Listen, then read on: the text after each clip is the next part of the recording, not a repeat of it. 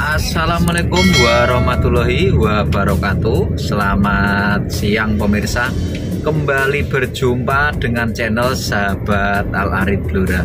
Pemirsa pada pagi hari ini Kita akan ajak jalan-jalan virtual. Kita menuju ke pantai di wilayah Kabupaten Rembang Provinsi Jawa Tengah jadi dari Blora menuju ke wilayah Kabupaten Rembang itu membutuhkan perjalanan sekitar 45 menit sampai satu jaman. Tergantung situasi dan kondisi di lapangan. Nah ini kita video kita start dari kawasan batas kota Rembang dari arah selatan ya biar video tidak terlalu panjang. Kita nanti menyusuri kawasan Rembang kota menuju jalur Pantura dari Pantura itu kita ambil yang ke arah kanan atau ke arah timur untuk menuju ke wilayah Tuban. Kita nanti akan ke pantai Karangjai. Seperti apa situasinya? Mari kita simak bersama. Masih berada di Rembang bagian selatan ya. Ini kita menuju ke pusat kotanya Tak lupa sebelumnya kita ucapkan terima kasih kepada pemirsa, kepada subscriber setia sahabat Al Arif Blora yang selalu like, komen dan juga subscribe. Semoga videonya bisa memberi informasi dan menghibur. Jadi Rembang dan Blora ini merupakan kabupaten bertetangga ya.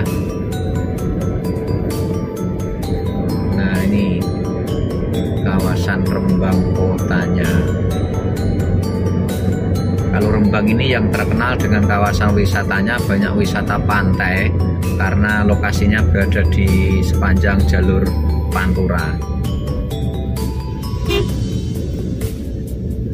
Sebelah kanan kantor Kecamatan Rembang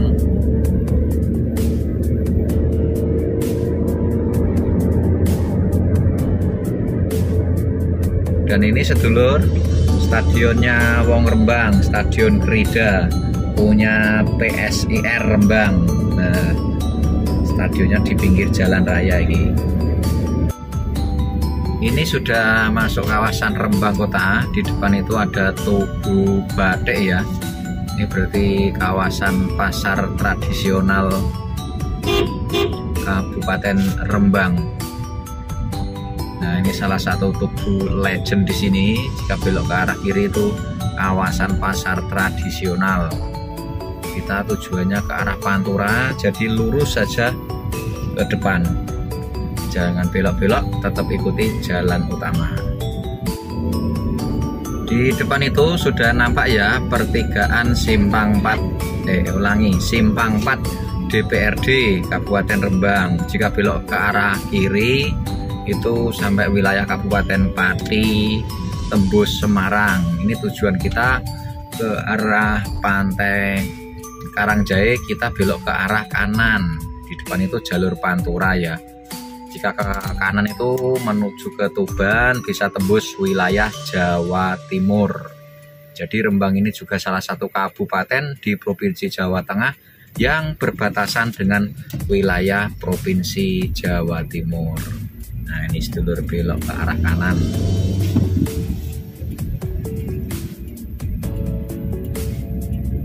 jalur sini adalah kawasan rame ya merupakan jalur utama.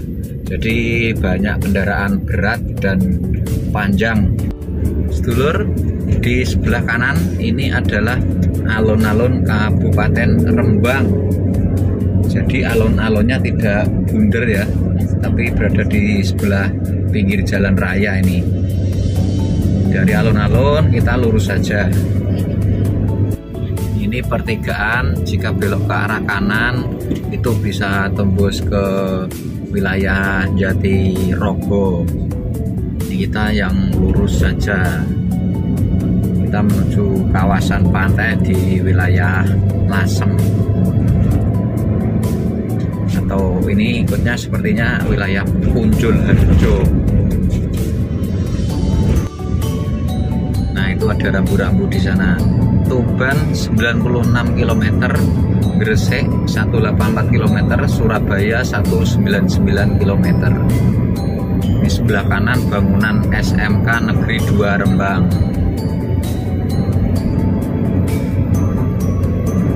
Jadi di kawasan sini ada beberapa lokasi wisata ya ada beberapa lokasi pantai ada juga kawasan hutan mangrove lokasinya berada di sebelah kiri jalan semua. Di sini selain ada pantai Karangjae juga ada pantai Caruban dan juga pantai Plumbung. Nah ini wisata hutan mangrove belok ke arah kiri. Kawasan situ hutan mangrove-nya di depan itu warna biru itu adalah siluet dari pegunungan di kawasan Kecamatan Lasem. Nah,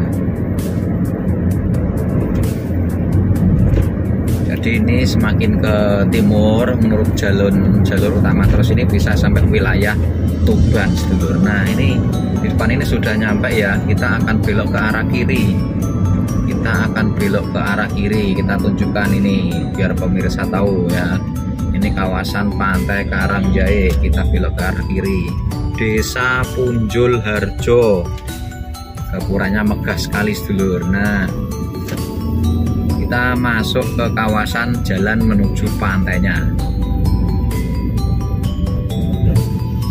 Jalan Raya Pantai Karangjae Desa Punjul Harjo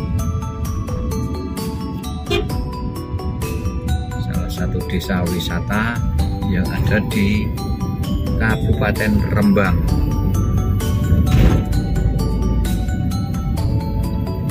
Oh ikutnya di sini masih Kecamatan Rembang Kota sedulur, bukan Kecamatan Lasem. Nah ini, maaf parkir dialihkan. Ini ternyata parkirnya dialihkan ini. Amit Pak, panggil. Ini parkirnya mereka. Oh tebih melampai. Sekitar 50 meter Pak. Ini parkirnya 20.000 sedulur. Ini karena parkirnya penuh sedulur ini dialihkan. Busuk ke arah sini. Nah kita tunjukkan. Parkirnya penuh. Untuk parkir ini kendaraan roda 4 kecil ya. Ini bayarnya 20.000 dan ini lokasi parkirnya ini sebelah kiri jalan ini.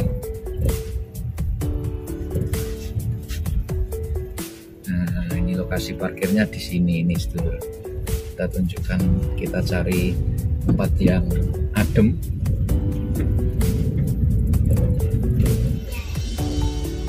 Parkirnya luas.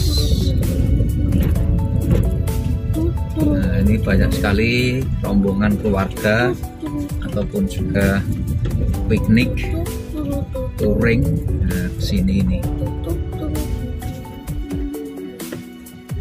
Nah, sedulur ini dari lokasi parkirnya kita akan berjalan ke bibir pantainya ya. Iko, semangat. Panas. Panas. Panas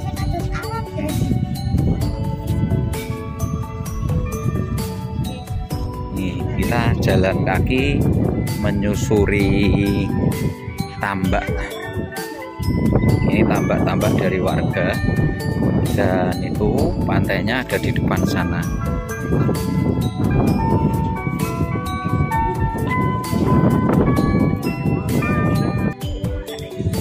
Nah ki kayak ini ndok kono kayak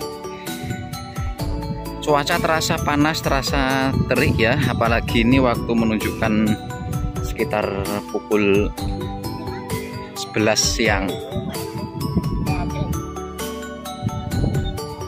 Menjelang luhur. Oh ini sudah terdengar suara adzan. Sudah pukul 11 lebih menjelang adzan ini. Sudah waktunya untuk sholat luhur. Nanti kita akan mencari musola untuk sholat ya.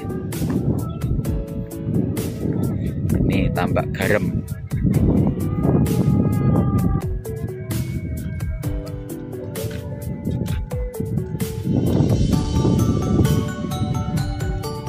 sayup-sayup terdengar suara azan.